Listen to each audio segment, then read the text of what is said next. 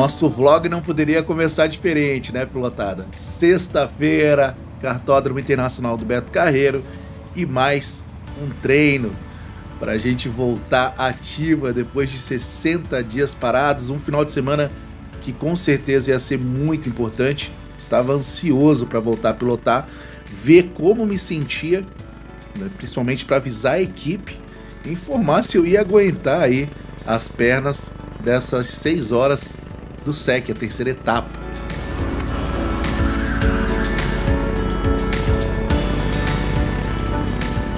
Falar para vocês que eu estava me sentindo 100%, acho que é um exagero, mas afirmar que eu estava me sentindo muito, mas muito, mas muito, coloca muito nisso, muito melhor do que no dia 18 de junho, na, nas últimas 6 horas do SEC.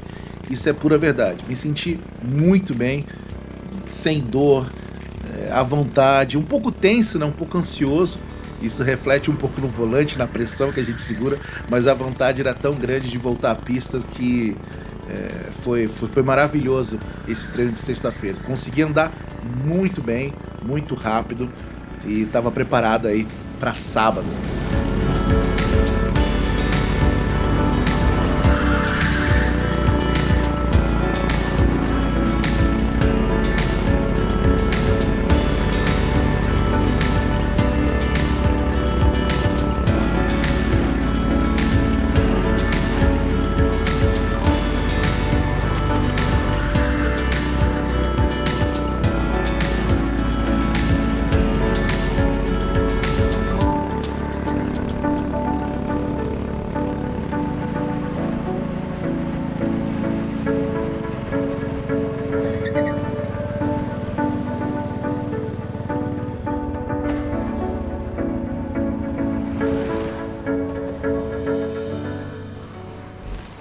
Fala galera, Rafa Vinara, chegamos a mais um vlog da pilotada aqui no canal, nessa friaca galera, olha o vento, olha o meu cabelo. Cara, tá chovendo, tá frio, o negócio tá complicado aqui, já peço desculpa, porque até pro gimbal tá difícil de manter a estabilização. Uh, Talvez vocês peguem um pouquinho também de vento no microfone, apesar de eu estar preparado, vai ser um teste bem interessante para esse microfone que tem proteção contra vento então vamos ver como é que vai ficar. Ó, daqui a pouco essa montanha russa aqui já vai descer mais uma vez aqui. Estamos aqui para mais uma etapa do SEC, Campeonato de Endurance de Kart Indoor. A terceira etapa, penúltima etapa do ano, mais seis horas. Estou correndo aí pela Candy Shop RNK e também organizando junto com toda a turma da RA Racing. Então vamos lá, galera, vamos acelerar. Possibilidade, como eu falei, possibilidade de chuva a qualquer momento, pista molhada, frio, muito vento e vamos lá, galera, a gente precisa ir bem, cara, a gente precisa ir bem. Chega de desculpa de kart ruim, de penalização. Olha lá, galera, deixa eu ver se vocês pegam aqui a montanha-russa, ó. Tem vibe melhor que essa? Tem lugar melhor que esse? Não tem, mano. Eu sou muito sortudo. Vambora, galera. Então vai deixando o like, vai comentando. E eu espero trazer toda a emoção, tudo que eu senti aqui para vocês curtirem. Lembrando, primeira corrida após cirurgia. Então eu estava 60 dias parado. 60 dias parado e tô voltando hoje. A felicidade, a cara da criança. Vambora, galera, vamos com tudo!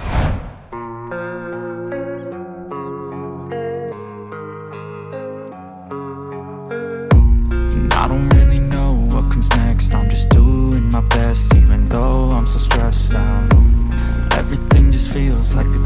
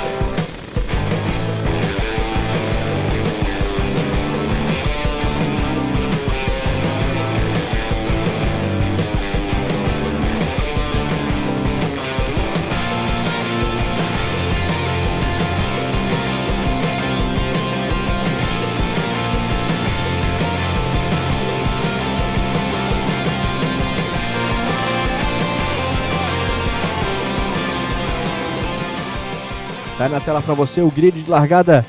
E vamos longe, porque é um grid longo enquanto o pessoal vai se arrumando lá embaixo. A gente vai passando para você de casa acompanhar o grid pole position para o kart 72, vice-líder do campeonato da Floripa Kamikaze QAGA. Mais uma pole position de Giovanni Novaes, que vai se tornando um dos maiores pilotos a, a conseguir a pole position dentro da história dos Endurances da RA. Depois nós temos Fábio Benassi Unicart, Murilo a Alligators e o Bismarck Spies com a KSA Racing. Fechando as duas primeiras filas que vão largar lá no comecinho do grid. Dando sequência, a gente vai ter o Eduardo Yoncher com a Candy Shop, depois o Laerton com a Floripa Kamikaze CKGA, o Thiago Oliveira com a Secato Racing, o Gustavo Teixeira com a Racing, fechando os oito primeiros. Na sequência do nosso grid, Eduardo Guide com a Unicart, depois o Bruno Albino com a Salva Racing, o Henrique Kozuki com Amigos de Pissarras e o Gilberto Silva com a Floripa Kamikaze CKGA. Fala galera, beleza? Meu nome é Giovanni Novak, sou piloto da equipe Floripa CKGA e hoje, mais uma vez, tive a felicidade de fazer a pole, né? Esse tempo na chuva aí e larguei na, no segundo grupo, né? Que no meu ponto de vista sempre é o, é o grupo um pouco beneficiado, porque o primeiro grupo já dá uma limpada na pista. E saí para a pista já na primeira curva ali, rodei, eu pensei, caraca, já na primeira curva, né? Mas fui indo, fui lá, fiquei mais pro fim do pelotão. Acabei não, não tendo uma volta muito limpa, assim, na primeira volta eu fui atrapalhado com o cara que rodou. Na segunda volta eu já vi que eu passei bem, eu fiz a curva aqui na, no final da reta, dei uma olhada no placar, lá eu estava em segundo. E foi, cara, foi, deu tudo certo mais uma vez, foi uma, uma boa, com certeza uma boa volta, né, para conseguir, eu acho que eu, eu fiz 0,9 mais rápido que o segundo colocado. E estamos aí, vamos para a corrida e vamos lá tentar fazer uma, uma boa largada e levar o kart para frente. Valeu lá, Rafa Bin. Estamos aqui no Beto Carreiro com a Candy Shop, René Catim.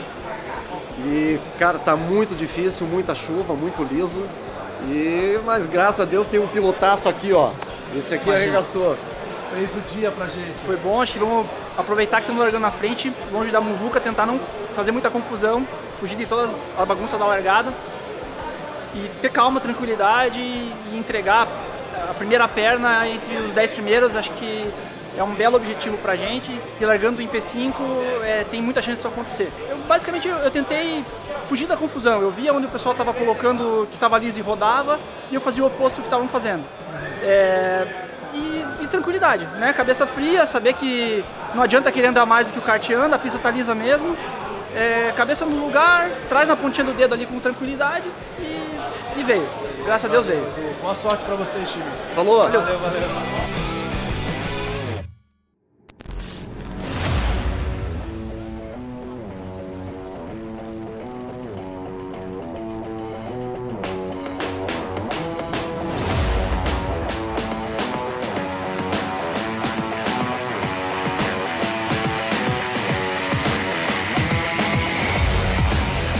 Vamos pra largada. Vamos pra largada das 6 horas. É a terceira etapa. Tá aí, valeu, largou.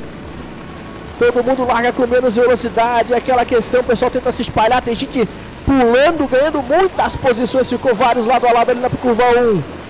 Já tem kart rodando. Tem Cone perdendo o rumo de casa indo embora. Pessoal para curva nova aí, todo mundo se espalhando, tentando tentando ganhar o terreno na bacia pela primeira vez.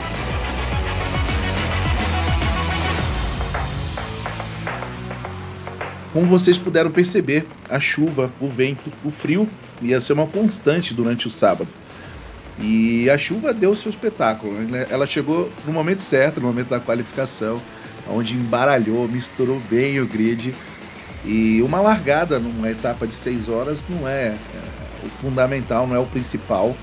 É, muita coisa acontece. Imagina então numa pista molhada, né, secando aos poucos pós a chuva parar. E essa hora eu acho que algumas equipes decidiram uma estratégia que foi o pulo do gato. Eles entraram no box logo na primeira volta, já fazendo sua parada de 7 minutos ou de 10 minutos, e nesse período de que eles estavam no box, a pista ia secando, uh, né, evitando tráfego, acidentes, etc. Então acho que a gente saiu um pouquinho atrás porque a gente tentou fazer o tradicional, a gente não arriscou como eles de fazerem logo essa primeira parada. E como eu disse, né, acho que foi uma estratégia perfeita para quem fez isso.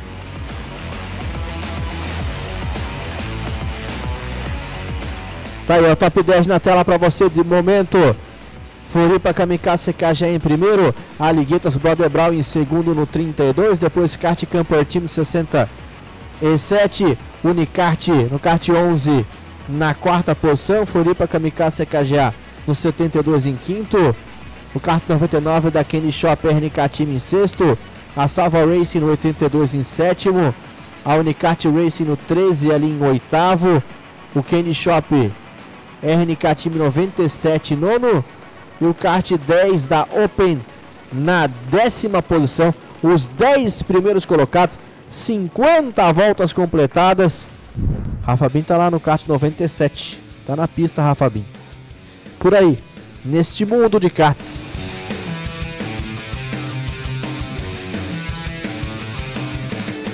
É chegada a nossa hora e pela decisão da nossa chefe de equipe, eu ia fazer um stint no kart 99 e no kart 97. O kart 97 foi o meu primeiro stint. É, eu digo que eu peguei assim um kart mediano.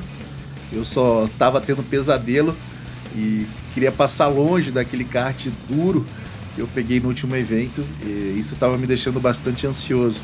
Mas quando eu entrei no kart, o kart tinha uma excelente curva, só faltava motor e a gente precisava ser empurrado o mais rápido possível. É, demoramos um pouco para isso acontecer. Eu acho que isso é um erro que a gente precisa é, é, consertar urgentemente. É, mas depois eu fui empurrado pelo Thiago e aí a gente começou a andar, a gente começou a progredir e foi um instinto assim bom. Não posso, vou dizer que foi ótimo, mas foi um, um bom instinto. Já no kart 99, é, aí veio aquele kartzinho, sabe aquele kart que a gente sonha em pegar? Volantezinho macio, encaixe bacana, né? Um pouco de curva, tinha um pouco menos de curva, mas tinha mais motor, que para mim é o que interessa. E aí veio o tempo, né? Mas também veio outro erro que eu achei da nossa equipe, né? Isso são críticas construtivas. É, na verdade, não foi tanto um erro, mas talvez nós precisássemos insistir mais. O kart estava bom e eu estava rodando muito bem. E eles tentaram empurrar novamente com o Thiago a primeira vez, ele não conseguiu, ele não pegou um kart bom.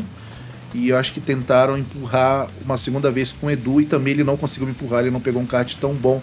E eu tava rápido, sozinho eu tava rápido. Como eu não tinha ninguém para me empurrar e na pista ninguém ia me ajudar, eu deixava as pessoas às vezes passar para não perder tempo, o kart não ficar pendurado, era um kart bom, não queria levar punição, e ia no vácuo.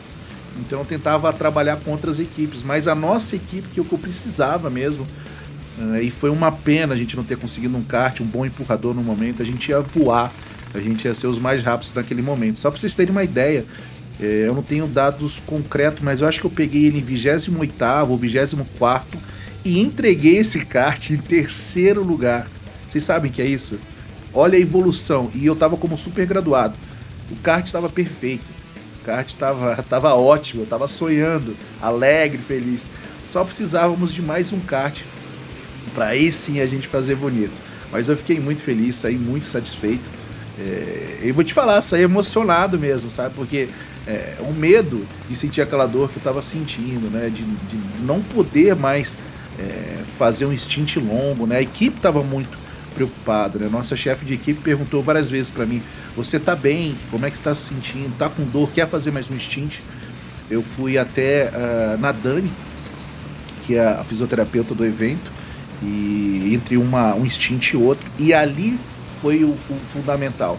Eu fiz 45 minutos, 40 minutos mais ou menos de fisioterapia, onde deu uma boa soltada no corpo, me senti bem, voltei para a pista, consegui fazer aí um dos melhores stints aí da nossa equipe. Então eu fiquei muito feliz.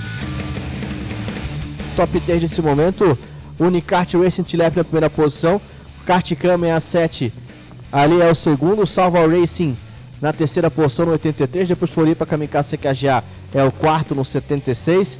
O One Talk Energy Drink numa linda prova até então no 39 é o quinto colocado, kart único.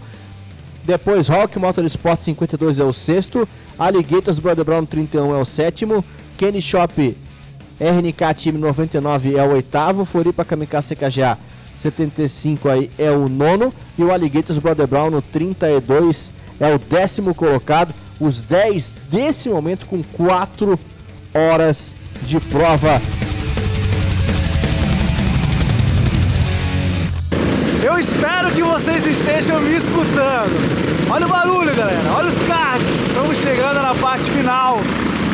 Cara, hoje o dia foi muito especial para mim.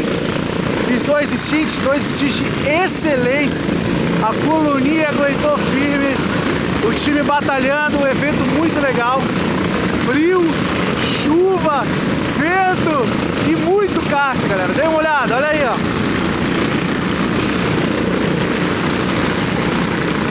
Coisa linda, né? É isso, galera. Vambora que tá chegando o final. Vambora, vambora.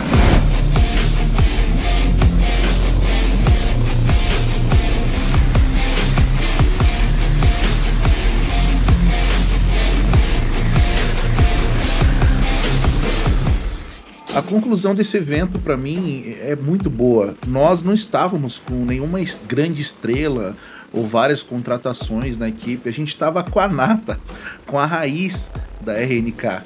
E a equipe trabalhou muito bem. É, A gente estava em família, sabe? Sem reclamação, fluido. É, a gente foi correto, as paradas foram boas, né?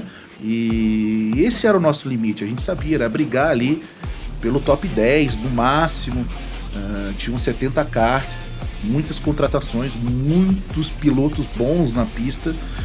E tirando aquele pulo do gato do começo ali, que as seis, sete equipes que fizeram aquela entrada no, início da corrida, com certeza era- é- é- se tornou quase impossível ah, alcançá-las. Só por erros delas ou paradas erradas dela, mas não tinha mais como alcançar.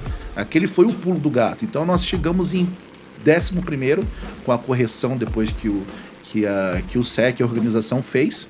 E foi perfeito. Era onde a gente conseguiria chegar mesmo. Eu acho que se nós tivéssemos feito. é, é, fica naquele si, si, si, né? Mas, mas se nós tivéssemos feito aquela, aquela estratégia do início, talvez nós tivéssemos pela briga ali do sexto, sétimo, oitavo lugar.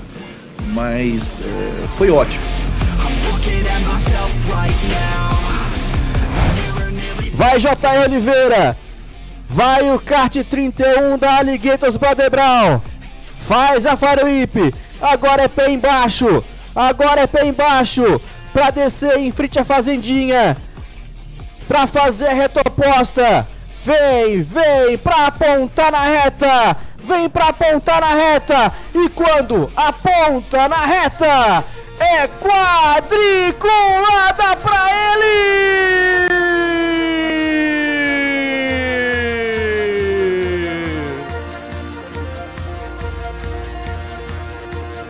Alligators Brown vence de novo!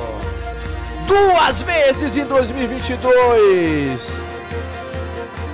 Vai chegar como favoritaça nas 12 horas para buscar o título inédito do SEC. Vence na primeira etapa, vence na terceira etapa. O kart 31 Alligators Brown vence. Vamos lá, vamos com o resultado extraoficial dessa terceira etapa do SEC 2022. Tá aí. Alligators Pro Debron na primeira posição, depois MDK EG Energia, RA Kart P1 Racing, Salva Racing, Floripa Kamikaze KGA, os seis primeiros. Na sequência, Tartarugators em sétimo, depois Floripa Kamikaze KGA, Kart Camper Team, C4 Racing, equipe única C4 Racing. Virando a página, Floripa Kamikaze KGA, depois Kenny Shop RNK TKT, também equipe única, KSA Racing, equipe única 14. Unicart, o 12, terminou em 15, ainda conseguiu voltar e terminar, salvar o 15 lugar. Alligators, 16, Kenny Shop RNK Team, Dragon Endurance Team, Kamikart e Amigos de Pissarras. Olha, a equipe fez um ótimo trabalho. É, é indiscutível, assim, a, a, estratégia encaixou muito bem. A gente, desde a primeira perna, a gente soube é, encaixar, administrar a situação, quando na verdade a pista ainda estava molhada. E eu acho que isso fez uma grande diferença pra gente. A gente conseguiu imprimir um ritmo muito forte no início é, colocamos uma margem de diferença e aí acho que os, os adversários acabam também co começando a ter que correr um certo risco, né? E, e, quando a coisa começa a conspirar e os karts vieram bons também, a gente conseguindo é, com bons, ótimos empurradores pilotos ali que estavam o tempo inteiro comboiando, então deu tudo certo, não tem, é indiscutível. Bom, tinha que ser sofrido, né? Então, valeu time, é isso aí, superação, faltou um pouquinho de sorte, ela veio no final. Valeu! MDK! Ah, foi uma corrida muito massa. A gente não tinha, não que a gente não tinha expectativa de estar tão na frente, mas é, quando a gente começou a, a, prova ali, a gente não estava nem perto do terceiro. E aí nos finais a gente conseguiu conseguiu contar com a sorte, conseguiu encaixar uma sequência de kart bom e hoje os troféus vão para vão os cronometristas. Eles não foi uma só no, no recorde, foram foram várias. Hoje eles mataram a pau. Quero deixar meu muito obrigado e dizer que a gente foi valente. Então, parabéns aí a Kind Shop RNK, a todos os pilotos. É, agradecer também mais uma vez a RA Racing pelo evento maravilhoso, para os meus amigos, pela organização. Agradecer a todos os nossos patrocinadores, a Forza, a Corsair, a Fitness Racing é, e todas as pessoas que nos ajudam aí nos eventos, como automobilista também. E eu espero voltar logo final do ano está chegando. Dia 26 de novembro nós vamos ter às 12 horas do Beto Carreira, a última etapa, e eu convido todos vocês aí a estarem presentes. Espero que vocês tenham gostado do vlog. Rafa Bin vai ficando por aqui. Aquele abraço. Fiquem com Deus e até a próxima. Valeu. Fui.